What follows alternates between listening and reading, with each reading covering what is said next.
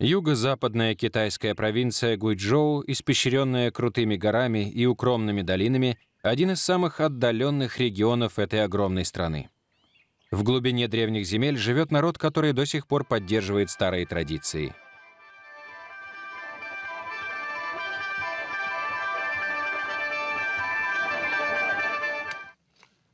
Это народ Мяо чье знаменитое целительское искусство подарило миру 3000 лекарств и 800 рецептов. Гора высокая и крутая, но она полна драгоценных лекарственных трав. Мой мешок, полный трав, спасет больного, но мне не нужна награда.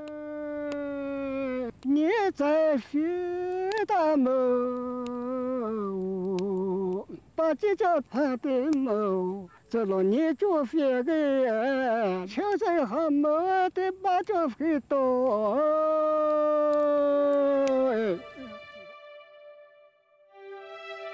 Путешествие древней медицины. Часть вторая. 3000 лекарств и 800 рецептов. Народ Мяо, Китай.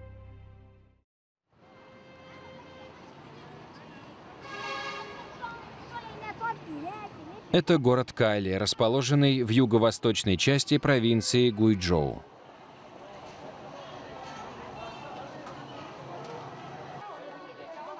На открытых рынках, которые устраиваются здесь каждые 10 дней, проулки заполнены множеством лекарственных трав.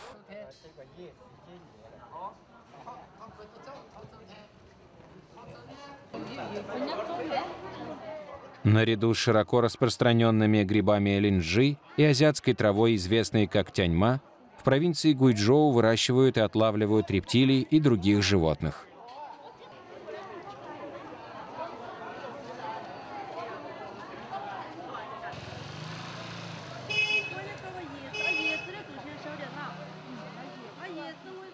Но покупатель найдет здесь не только лекарственные средства. На улице рядом с древними аптеками стоят доктора, практикующие медицину. И в их распоряжении самые различные методы лечения. Кровеносные сосуды между костями закупориваются. Чтобы кровь лучше циркулировала, я применяю огонь.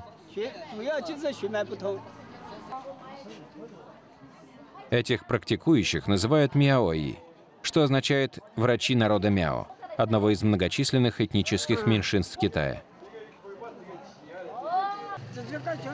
Я сейчас выдавил гной, так что с лекарствами быстро заживет. Это хороший доктор. У этих врачей нет специальной лицензии, но в районах Китая, где преобладает этническое меньшинство, такие традиционные практики разрешены. Сегодня в провинции Гуйчжоу насчитывается около 20 тысяч врачей Мяо. Медицина Мяо очень эффективна при заболеваниях, которые встречаются там, где живет этот народ. Это связано с тем, что они тесно связаны с окружающей средой. Такой чистый опыт стал важной частью медицины Мяо. Лекарства создавались путем накопления знаний и опыта в течение многих лет, и в этом особенность медицины Мяо.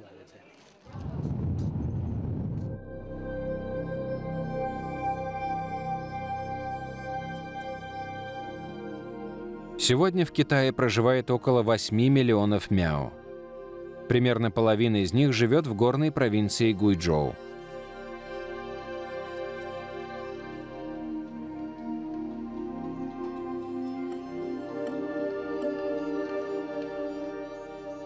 Это типичная деревня Мяо, в которой проживает около тысячи семей, поселившихся вместе. Этнические Мяо обычно живут в таких высоких деревушках, как эта. Их дома – трехэтажные здания с черепичными крышами. Они зарабатывают террасным земледелием, выращивая рис и кукурузу на скученных полях.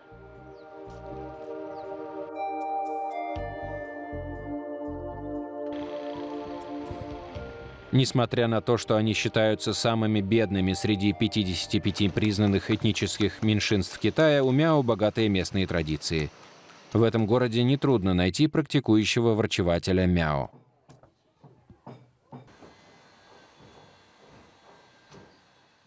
Отец 53-летнего Ян Гуанхуна передал свои знания медицины Мяо, когда его сыну было 37. После почти двух десятилетий практики он стал известным врачом в этой деревне.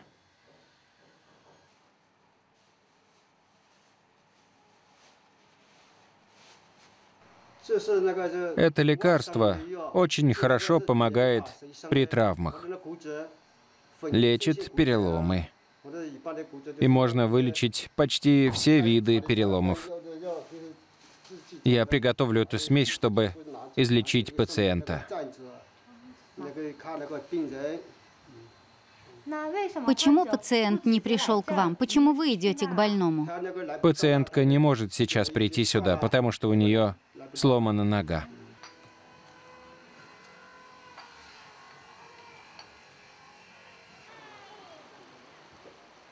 Из-за изоляции Мяо и полного отсутствия взаимодействия с другими группами, их медицинская практика в значительной части оставалась скрытой от мира за пределами Китая. Но внутри этой страны народ Мяо и их медицина широко известны как врачи тысячи лет и медицина десяти тысячелетий.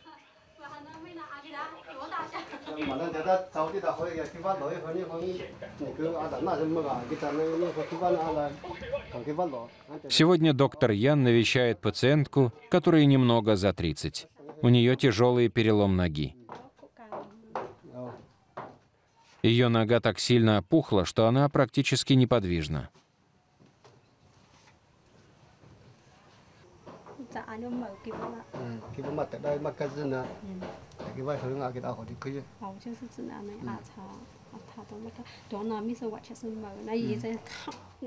Я шла по улице, но оступилась и упала с большой высоты. Вот так я сломала ногу.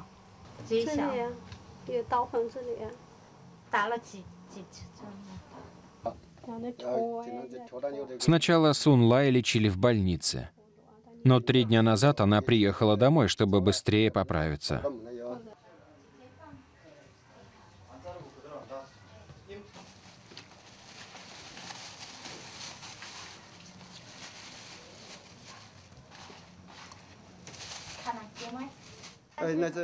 Это лекарство называется Ганао Дао Дяо. Первая часть на языке мяо означает «дедушка». Используется для лечения суставов. Ян Гуанхун варит целебные травы, которые добыл сам. Сегодня он проводит так называемую дезинфекцию паром. Пар от трав обеззараживает пациента, помогая лекарству быстрее впитаться. Считается, что это способствует кровообращению.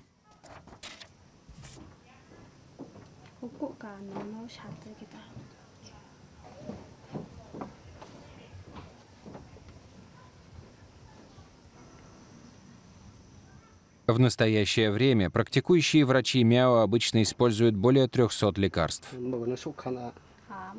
Существует множество процедур, в том числе окуривание, иглоукалывание, прижигание и даже хирургия, которых насчитывается более сотни. Для этой пациентки я использую 5 или 6 процедур, включая нанесение средства на тело, наложение повязок на место перелома и прием лекарств. Если она будет продолжать лечение, то выздоровеет через 15 дней. Сколько времени уйдет без такого лечения? Без лечения естественное заживление организма заняло бы больше полугода.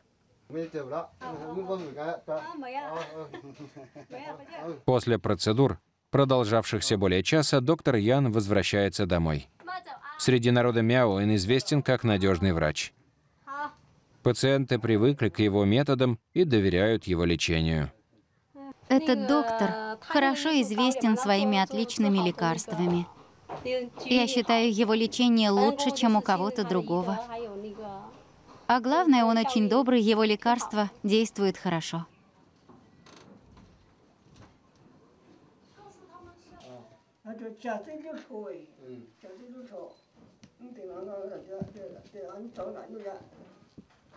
Как и во многих других формах традиционной медицины, практикующие врачи Мяо унаследовали медицинские знания от своих отцов. 83-летний Ян Пурин – самый уважаемый врач в этом городе. Он начал заниматься медициной с 15 лет и почти 7 десятилетий заботился о своих односельчанах. Благодаря этому у его семьи хорошая репутация практикующих врачей. Это я здесь. Прошло семь поколений. Я седьмой врач Мяо из нашей семьи.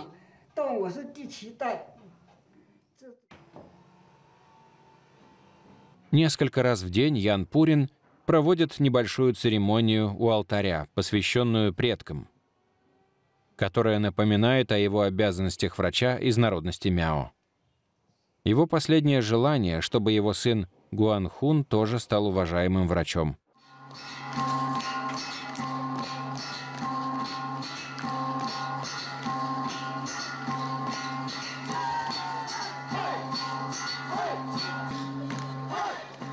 Сегодня народность Мяо составляет четвертое по величине этническое меньшинство в Китае после джуан, маньчжуров и хуэй.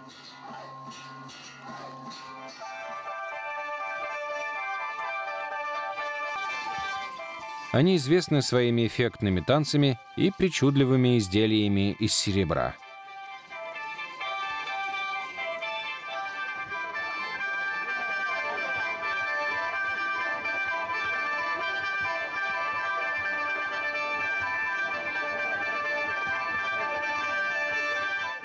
Серебряные орнаменты и украшения передавались из поколения в поколение народа Мяу. Серебро, используемое в одежде, — это историческое сокровище. Оно представляет историю народа Мяу.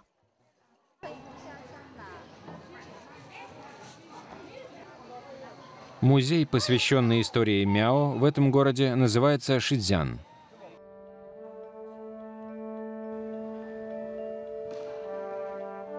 Здесь посетители могут увидеть такое искусное серебряное изделие, как этот венец, надеваемый на голову.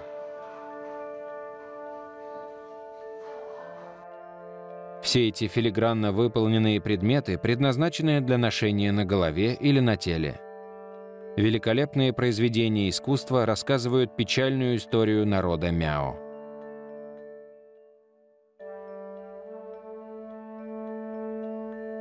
На протяжении веков мяо неоднократно подвергались нападениям со стороны чужаков. Считается, что они носили драгоценное серебро на себе, чтобы быстрее уходить от преследователей. Таким образом, мяо стали мастерами выживания.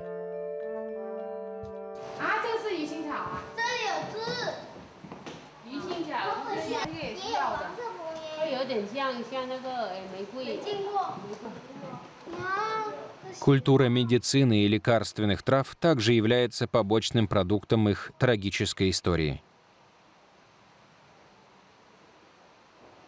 В изолированной среде у народа Мяо не было другого выбора, кроме как лечить себя самим.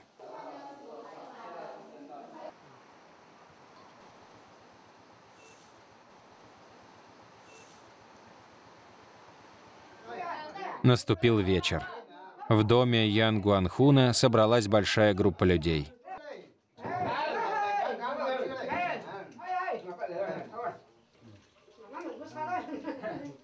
Примерно два раза в месяц Гуанхун устраивает такие вечеринки для родственников и соседей.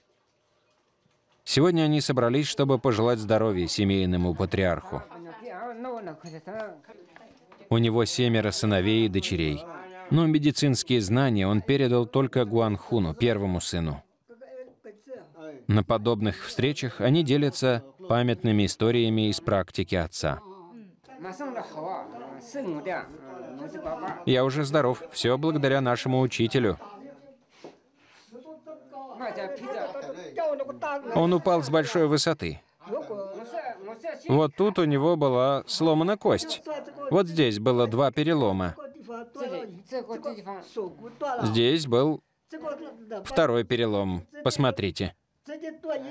Вот тут.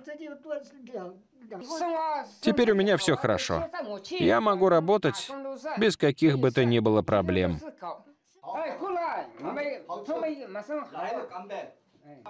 Мяо крепко держится за свои большие семьи. Они живут общинами вместе со своими соседями. Есть у них и еще кое-что особенное.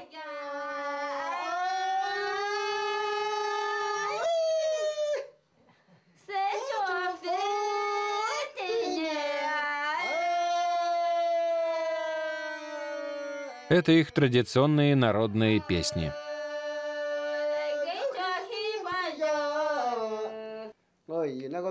Все уроки мяу передаются через песни. Так мы изучаем обычаи и все остальное с помощью музыки. Это традиционный способ передачи информации. Наши предки в прошлом все были неграмотными, Поэтому учения передавались устно. Из поколения в поколение мудрость передавалась устами и сердцем.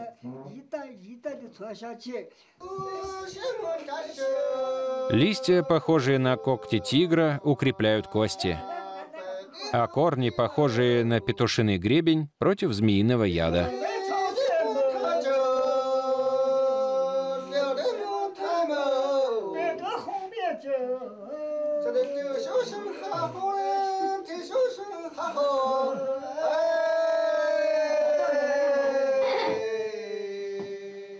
Песни Мяо обычно представляют собой импровизации. Они были средством выражения мыслей, эмоций и знаний.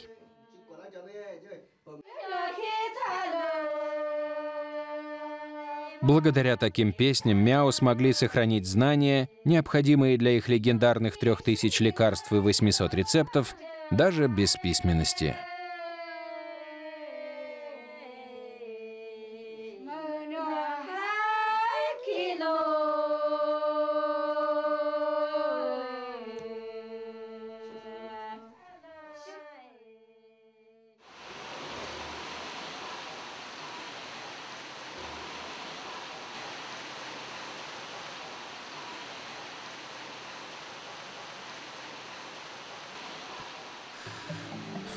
Погода здесь, в провинции Гуйчжоу, переменчива. Дожди идут более 200 дней в году. Частые дожди размывают известняковые склоны гор, создавая захватывающие дух виды.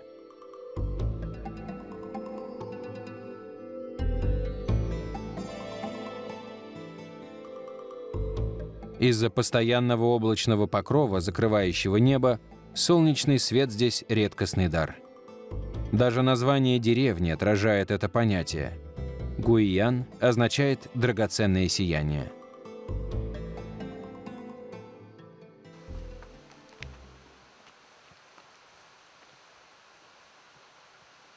Благодаря уникальной природной среде здесь произрастает широкий спектр лекарственных трав, которые больше нигде не встречаются.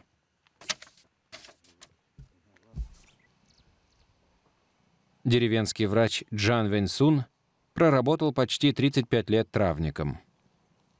Его сыну Пусену 11 лет. Несколько раз в месяц они вдвоем отправляются в горы, чтобы собирать лекарственные травы для пациентов отца. Мы уйдем очень далеко. Дорога займет около трех часов. Лекарство, нужное пациенту, нигде поблизости не найти. Оно встречается только в далеких местах.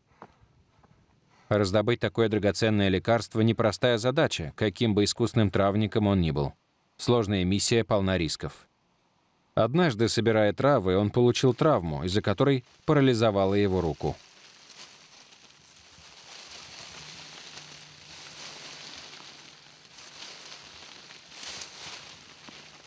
После того ужасного инцидента он всегда берет с собой в поход сына.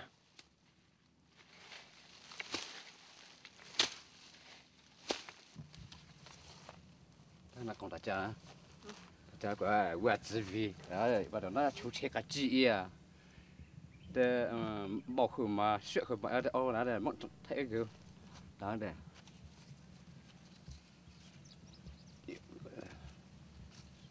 Врач легко может распознать нужное растение, только взглянув на него.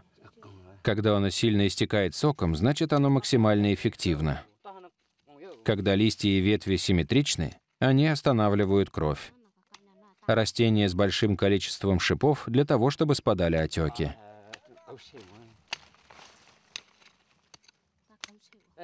Это растение помогает при расстройстве желудка. Оно очень быстро действует. Корни же хороши для женских недугов, таких как менструальные боли. Листья используются для лечения органов пищеварения. Это очень полезное растение.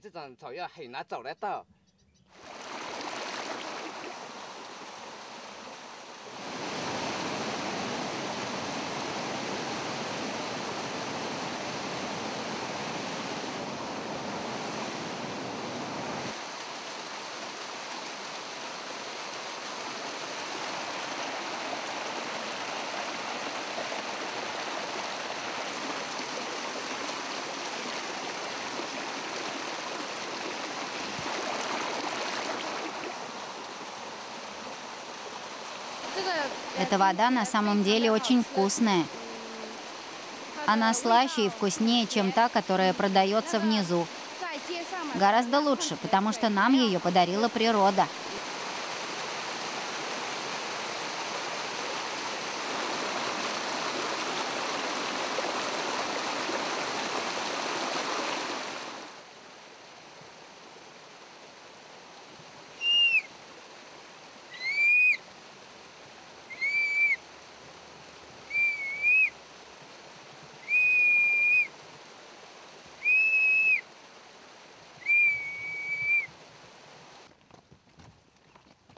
Прошло полдня с тех пор, как они ушли из дома. По мере того, как они все глубже и глубже уходят в горы, они оказываются в девственном лесу, без тропинок.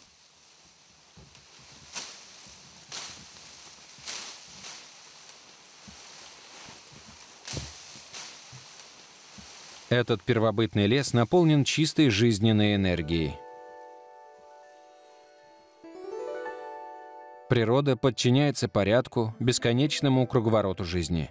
Все сущее сражается и помогает друг другу, чтобы поддерживать жизнь. Эта невидимая жизненная сила создает уникальные лечебные свойства растений.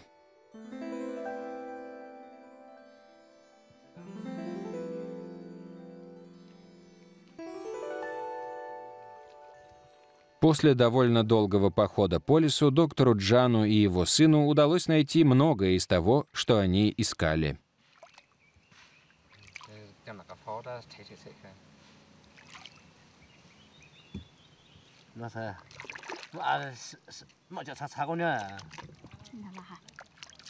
Собрав достаточно нужных лекарственных растений, травник испытывает чувство глубокого удовлетворения –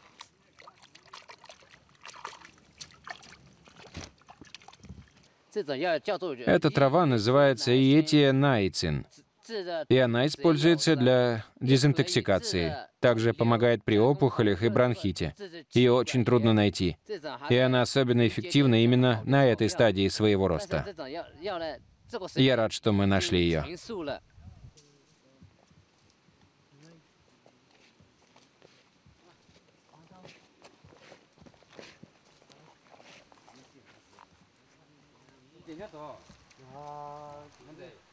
Однако в лесу они сталкиваются с людьми, которых никак не ожидали встретить.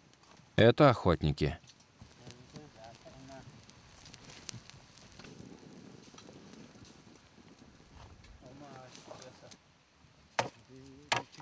Хусен строгает палочки для еды к обеду. Мальчик начинает понимать, почему охотники тоже пришли в это место.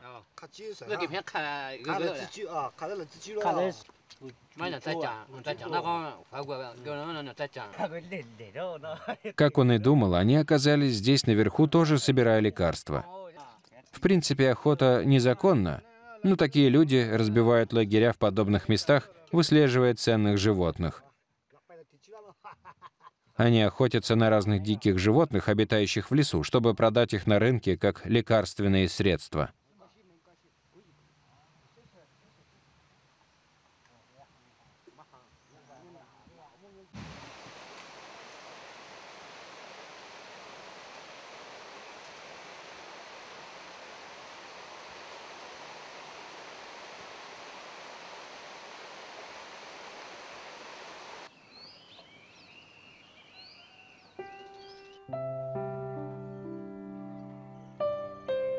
Сегодня днем Джан Винсун работает за своим столом.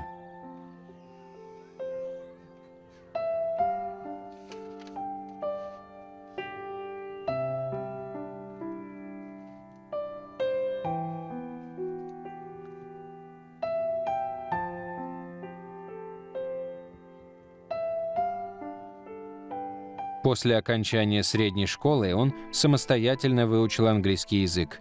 Всякий раз, когда у него есть свободное время, он записывает лечебные практики мяо. В те дни, когда он ходит в горы, он записывает названия трав, которые нашел на китайском и на английском, с большим вниманием к деталям. Я записываю названия средств и те болезни, при которых они помогают. Эти записи помогут сохранить рецепты и предписания медицины Мяо. Я хочу обезопасить эти знания и передать их потомкам, в том числе своему родному сыну. Таких книг он написал уже пять. Рецепты Мяо долгое время передававшиеся через песни, теперь сохраняются в письменном виде.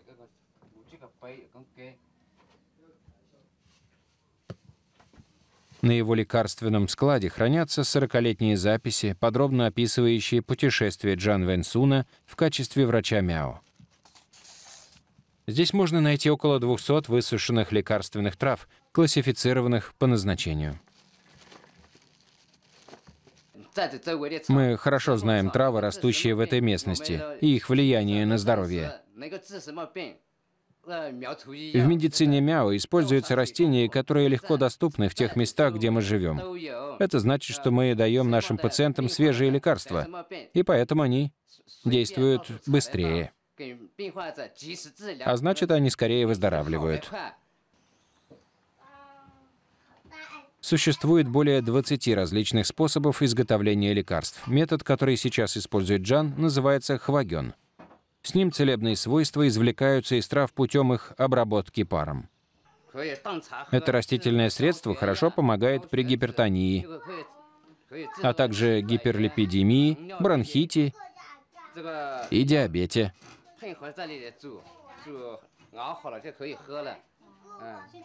Какие травы вы отвариваете? Это называется тхиета. А это аие.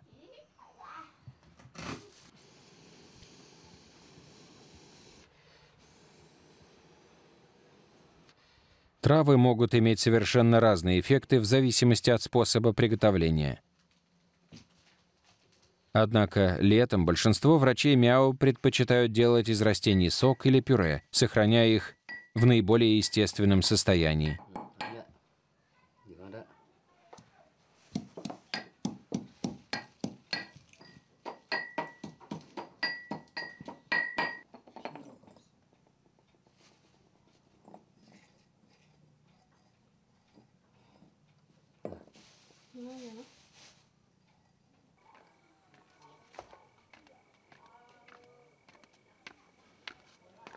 Поздно ночью, приготовив лекарство, Джан Вэньсун отправляется навестить своего пациента.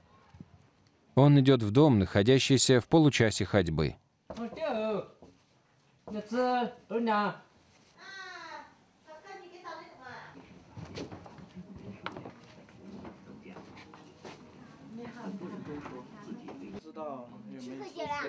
Сегодняшний больной молодой человек не старше 20 лет.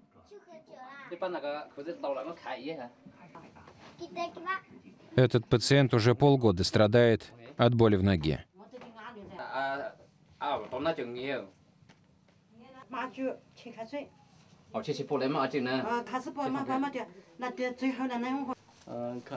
У меня злокачественная опухоль. В больнице сказали, что ногу надо ампутировать, но я просто не смогу этого вынести. Отрезать не вариант, поэтому моя мама попыталась найти другой способ, как с этим справиться. Я не знаю, поможет это лечение или нет, но это моя единственная надежда на исцеление.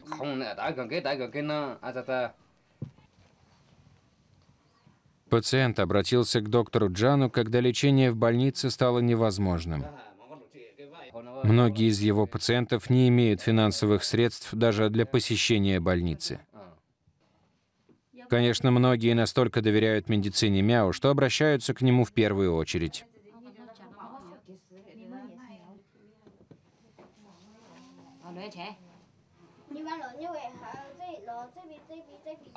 Джан Вен Сун оборачивает пораженные участки травами, предназначенными для лечения злокачественных опухолей.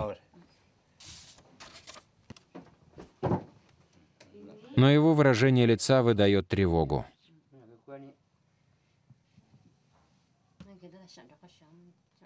Больной и ухаживающая за ним семья истощены физически и эмоционально.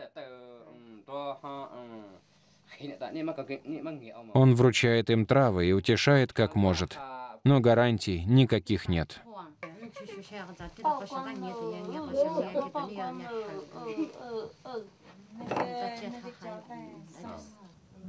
Он мой единственный сын. Так что можете вообразить, что я чувствую. Роды были такими тяжелыми. Вот представьте, какую боль в сердце я сейчас чувствую. Я сделаю все, что в моих силах, чтобы помочь ему. Все, что смогу. Если ему станет лучше, просто гора с плеч упадет.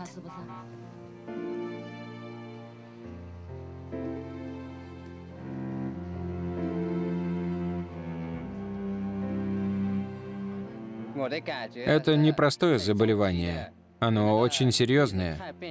Но я сделаю все, что смогу, чтобы непременно найти способ вылечить его и помочь ему восстановиться после тяжелой болезни. Я сделаю все, что в моих силах.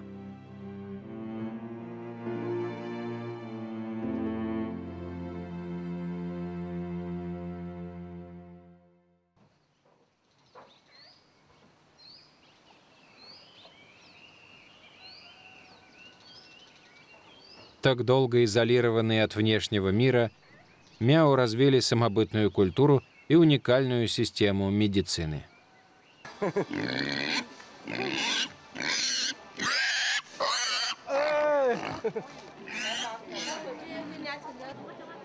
Долголетие, которым могут похвастаться мяу, происходит из вполне объяснимых вещей.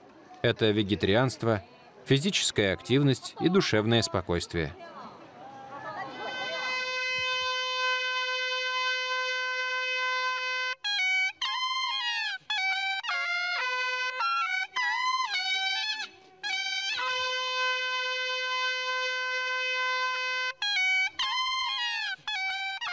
Громкие звуки горна возвещают начало похоронной процессии.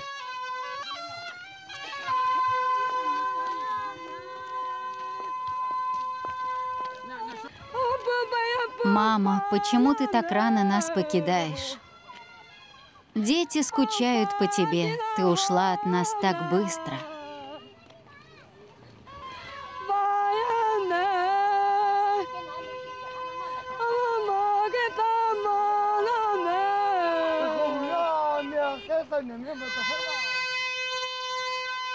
Похороны Мяу взывают к тому же чувству горькой утраты, которое чувствуют люди повсюду.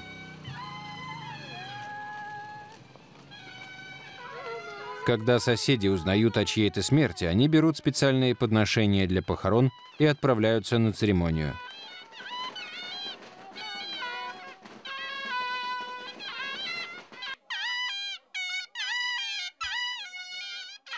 Звук горна — это древняя традиция мяо, предназначенная для того, чтобы утешить дух умершего сильным шумом.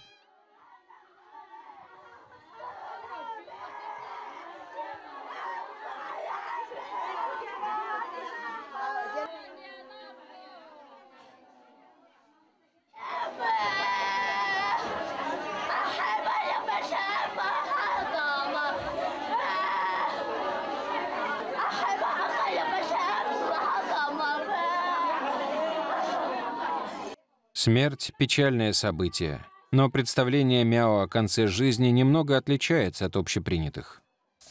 Мяу называют умершего человека спящим. Это баита на языке мяу. Точно так же, как все отдыхают ночью, для народа мяу смерть — это просто отдых.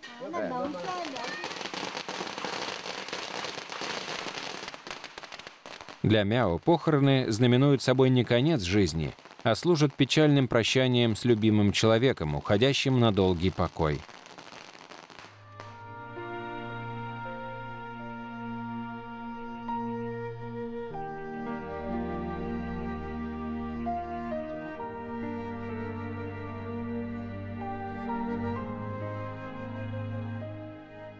Через несколько дней на лице пациентки с сильным переломом появляется радостная улыбка.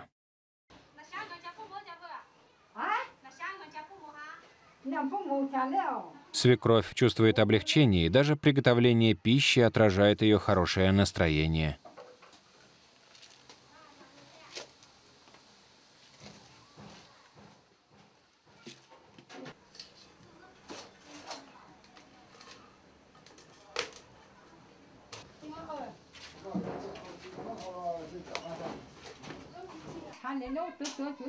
Я чувствую себя счастливой.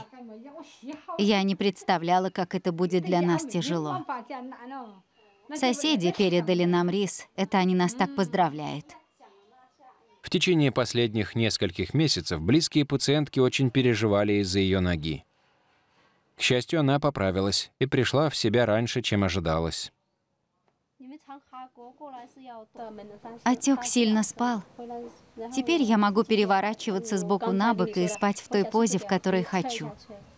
Врач говорит, что через три недели я поправлюсь полностью.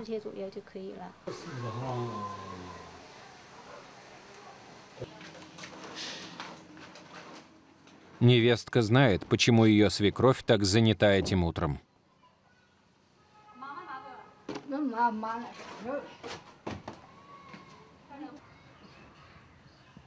Она готовит на пару полную кастрюлю драгоценного риса и перекладывает его в корзину.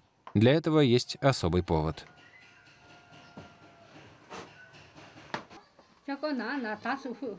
Думаю, что теперь я готова идти. Но я не знаю, хватит ли этого, чтобы выразить нашу благодарность.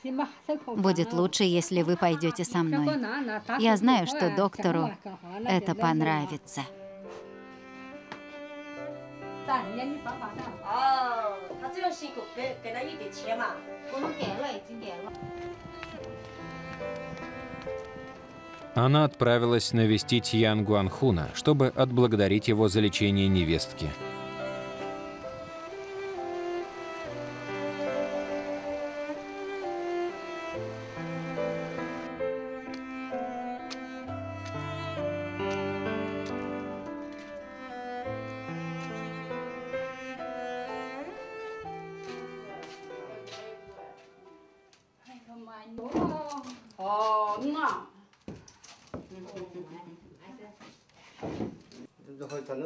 Лечение еще не закончено. Не стоило все это приносить.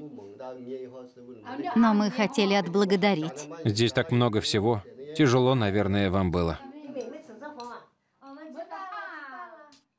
Курица, рис, домашнее вино и свинина. Для людей Мяо идеальный подарок в знак благодарности.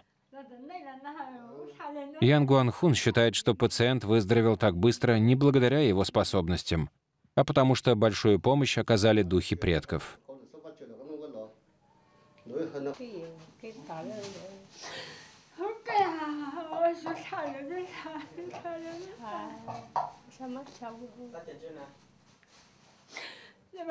Страдания, которые свекровь терпела так долго, внезапно прекратились, и она разражается слезами.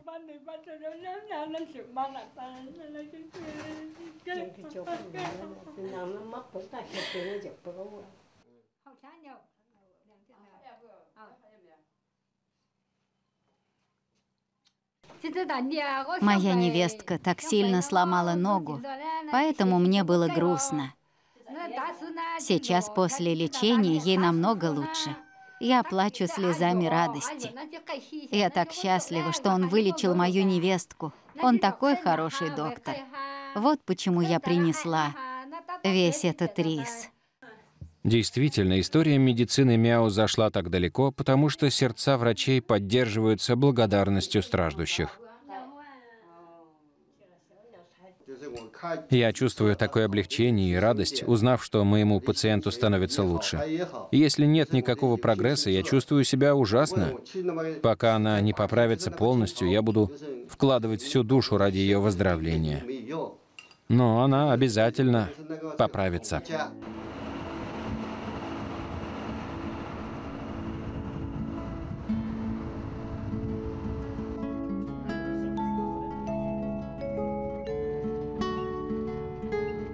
У Джан Венсуна, однако, на душе тяжело, потому что другой его пациент не показывает особых признаков прогресса. Поэтому он едет в центр, чтобы купить новые лекарства на травах и получить информацию о том, как его применять. Центр города небольшой, но здесь можно найти много трав и информации о том, как ими лечить.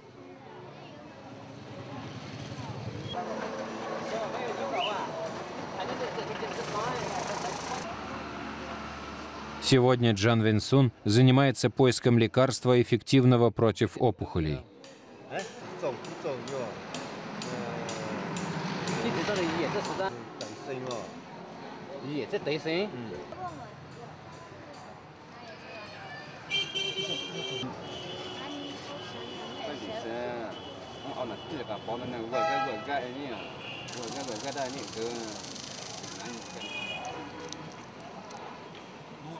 Но панацеи здесь нет. Он решает поэкспериментировать со смешиванием нескольких новых трав, которые нашел, и возвращается домой.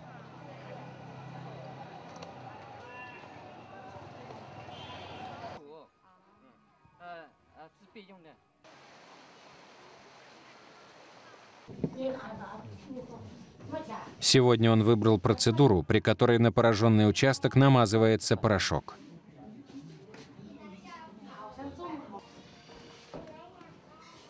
В процедуре участвует и его сын Пусен. Таким образом, он постепенно знакомится со всем, что ему нужно знать о практике отца.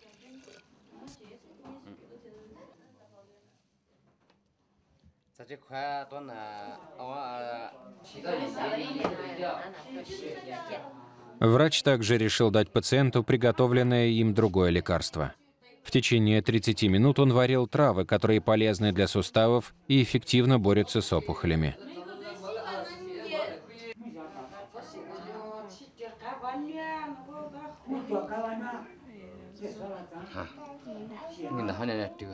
Отвар уже хорошо настоялся.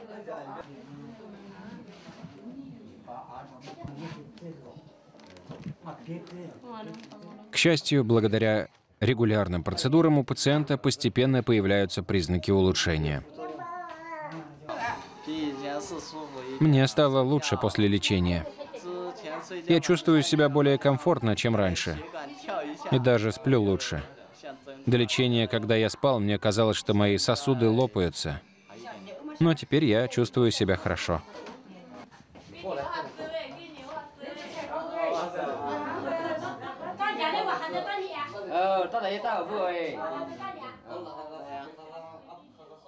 Джан Вен Сун был занят с раннего утра. Но он считает, что это был плодотворный день.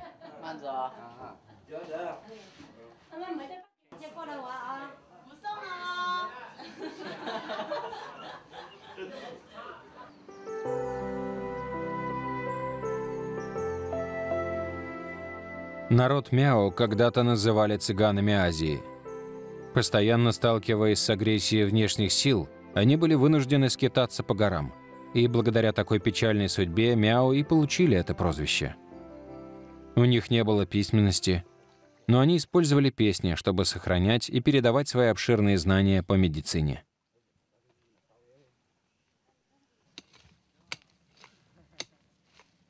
И эта традиция продолжается по сей день.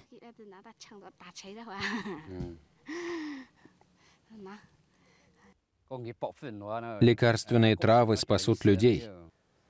Любовь также спасает человечество. Травы и любовь вместе нас спасут. 多 че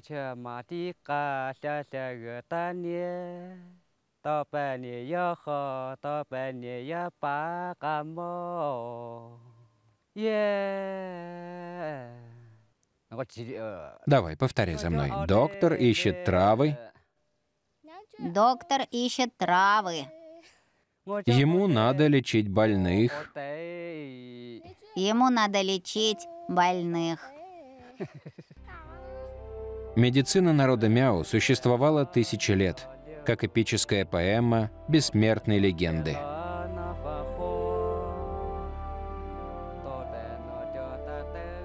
Пока существуют травы, история Мяо будет продолжаться вместе с тремя тысячами лекарств и восемью сотнями рецептов.